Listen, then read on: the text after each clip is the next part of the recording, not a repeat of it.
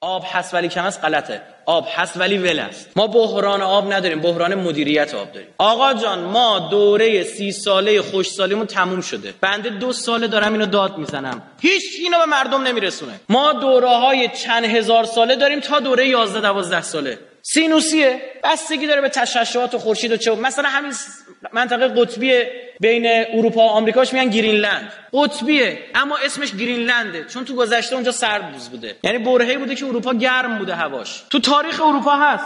حدود 500 سال پیش بخشای از یخهای قطبیش آب شده بوده. ببینید چی شده آقا جان؟ جریانهای اقیانوس اطلس شمالی به شدت دو سال فازشون منفی شده. فازشون منفی شده. یعنی دماش اومده پایین. دماش اومده پایین یعنی رطوبتش حفظ میشه.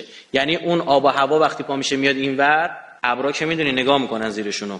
خب؟ وقتی پا میشن میان این طرف خدمت شما عرض بکنم تا سی سال پیش این ابرا بیشور بودن دو سال شعور پیدا کردن. اومدن این طرف الان من سوالی دارم. اینو دو ساله دارم میگم. برید تو سخنرانی قبلیم ببینید من گفتم آقا بیا براتون پیش بینی می‌خوام بهتون براتون بکنم. امسال بارندگی خیلی زیاد خواهیم داشت. امسال بارندگی با پارسال یکی بود؟ کردستان 4 متر برف اومده. خوزستان و سیل برده. آب هست ولی ول است. نه آب هست ولی کم است. درست شد؟